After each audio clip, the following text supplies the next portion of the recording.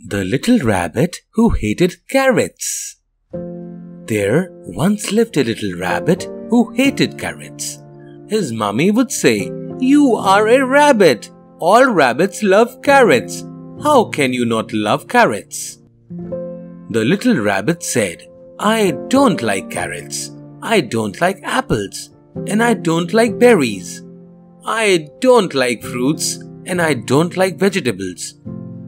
When I am all grown up, I'll never eat any mangoes or bananas, only sweets and candies. His mummy smiled and said, But how will you grow up if you don't eat your fruits and vegetables?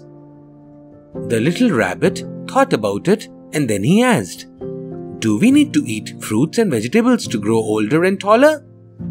Mummy said, Yes, of course. You will grow very tall and become strong if you eat your veggies every day. The little rabbit said, Okay, then maybe I'll eat some carrots. Soon, the little rabbit began to eat his veggies every day.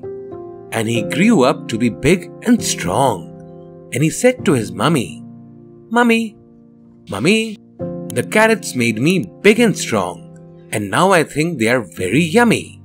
Mummy, Mummy, I like to eat the carrots every day. They fill my tummy. Mummy was very happy. She said, My lovely little baby, I'm so proud of you for finishing your veggies every day.